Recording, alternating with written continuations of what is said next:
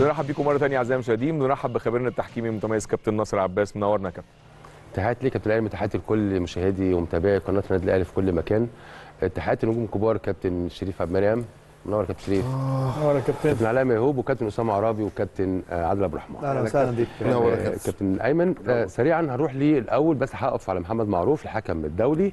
آه، خلي بالك كابتن شريف كابتن آه، علاء محمد معروف. آه، إحنا في الجولة العشرين. لم يدير أي مباراة للنادي الأهلي منذ بداية الدوري. يمكن أفتكر يعني تقريبا آخر مباراة أدارها الموسم ال- اللي فات كانت ما بين آه، نادي فاركو والنادي الأهلي تقريبا في شهر ثلاثة فترة بعيدة قوي قوي قوي آه، محمد معروف بيرجع للنادي الأهلي. آه، ان أنا عاوز أقول إن يعني الحكم الدولي كابتن دي ودي مهمة جدا يا كابتن أيمن ما تبعدوش ابدا صح. عن المباريات الكبيرة لأن أنا النهارده لو أنا دولي يا كابتن علاء ومش هلعب للأهلي ولا للزمالك. لا ده انت بتلعب في أفريقيا. بالظبط.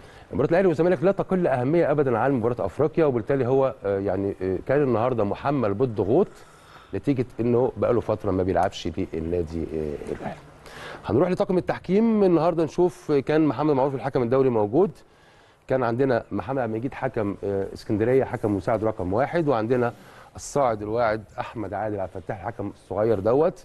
من منطقة القاهرة كان المساعد رقم اثنين صبحي العمراوي من اسكندرية حكم رابع وكان على الفار أيضا حكم صاعد آه، واعد خالد الغندور وكان خالد آه، حسين كابتن شريف.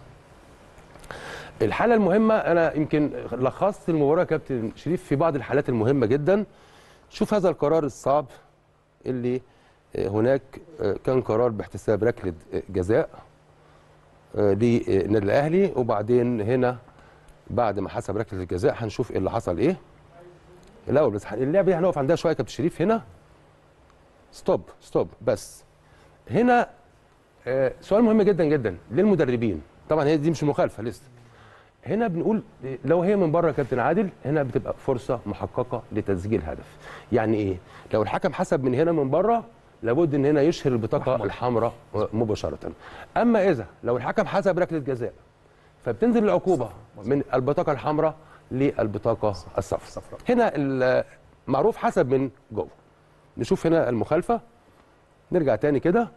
آه، كابتن أنا يهمني أشوف ال point of contact يعني لحظة التلامس هل هي فين بالظبط؟ مظبوط. وما بع- بحسبش اللاعب هل هي رجليه. بس هنا يا كابتن هنا بس هنا الركبة. خلاص هي إيه؟ هنا الركبة. جاية في الرجل الشمال والحدث خارج منطقة الجزاء يا كابتن. علاء. تمام. وليس على الخط.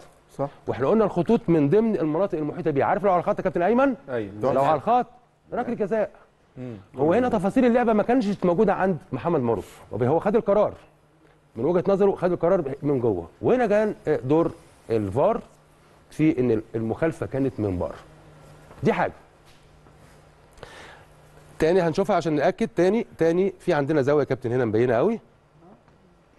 يا ريت سمير الزاوية الواضحة اللي هي مبينة المخالفة من خارج منطقة الجزاء نشوفها تاني عشان نبقى عندنا كلام مقنع للكل. ها. هو كان في تكملة من كهربا بعد في. مخالفة تانية؟ في زاوية تانية قصدي؟ آسف. الحارس دخل ده خلاص. شريف زاوية تانية؟ زاوية هو أيوه أيوه. تمام. هنا كابتن هنا أهي. آه. هنا الرجل خارج منطقة الجزاء وبالتالي هنا المخالفة من الخارج السؤال هنا خالد الغندور عمل شغله. 10 على 10 في الكوميونيكيشن قال له المخالفة من بره. وبالتالي المفترض.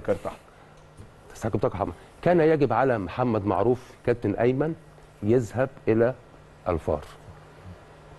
هو هنا حدد لك المكان وقال لك دي حقيقة مكانية. أنا قلت لك إن دي من بره. هو ده دوره.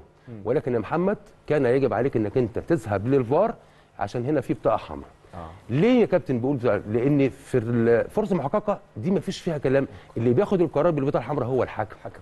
مش الحكم الفار. عشان كده بقول إيه دي في إجراءات. الفار كان يجب يا محمد حكم دوري كبير ما ينفعش حتى تدي حمراء على طول.